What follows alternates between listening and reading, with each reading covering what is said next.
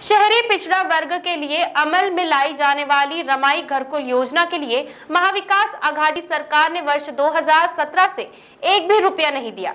भाजपा नगर सेवक व अनुसूचित जाति मोर्चा के प्रदेश सचिव धर्मपाल मेश्राम ने प्रेस परिषद में यह खुलासा किया।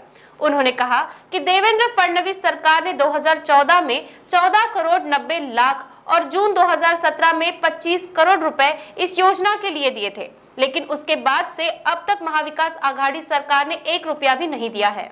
रमाई घरकुल योजना के तहत दो चरणों में लाभार्थियों को एक एक लाख रुपए दिए जाते हैं। और अंतिम किस्त पचास हज़ार रूपए दी जाती है।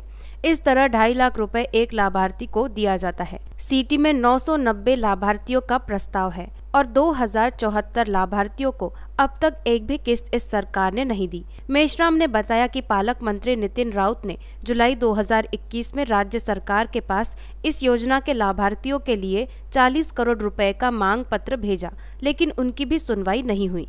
इस सरकार का इस ओर ध्यान आकर्षित करने के लिए भाजपा शहर अध्यक्ष प्रवीण दटके और पूर्व पालक मंत्री चंद्रशेखर बावनकुले के नेतृत्व में 27 अक्टूबर को संविधान चौक से कलेक्ट्रेट तक मोर्चा निकाला जाएगा।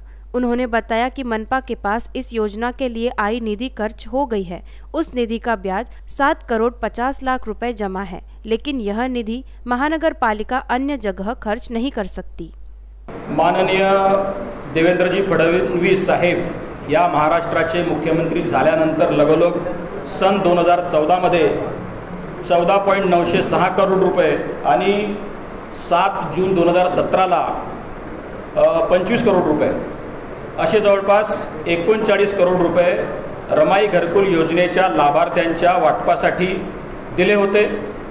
ते सर्व पैसे खर्च झालेले आहेत परंतु आत्ता नागपूर शहरातल्या रमाई घरकुल योजनेच्या लाभार्थ्यांना चाळीस करोड रुपयाची गरज आहे आणि मागच्या अनेक वर्षांपासून महाविकास आघाडीचं सरकार आल्यानंतर उद्धव ठाकरे मुख्यमंत्री म्हणून स्थानापन्न झाल्यानंतर आणि या शहर जिल्ह्याचे पालकमंत्री नितीनजी राऊत झाल्यानंतर स्थानापन्न झाल्यानंतर आम्ही चाळीस करोड रुपयाची मागणी महानगरपालिकेच्या वतीनं केली. परंतु दुर्दैवाने फक्त दीड करोड रुपये मिळाले. त्याच्यावर एकही रुपया नागपूर महानगरपालिकेला या योजनेच्या अंमलबजावणीसाठी मिळालेला नाही. आणि त्यामुळं मी ज्या समाजाचं प्रतिनिधित्व करतो किंवा आम्ही सगळे लोक ज्यांचं प्रतिनिधित्व करतो तो सारा समाज तो लाभार्थी ऊन पावसामध्ये तसाच्या तसाच पडलेला आहे. कधी कोणी भाड्याच्या घरात आहेत तर कोणी कुठे पडक्या घरात आहेत अशा स्थितीमध्ये ही योजना पूर्णत्वास नेणे गरजेचं आहे.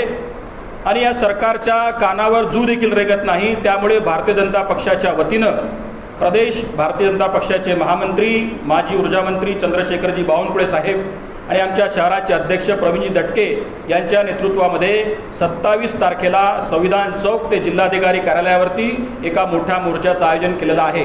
आपल्या माध्यमातून मी या सगळ्या लाभार्थ्यांना आणि शहरातल्या अनुसूचित जाती वर्गाच्या रहिवाशांना विनंती करतो की या मोर्चामध्ये मोठ्या संख्येत सामील व्हावं.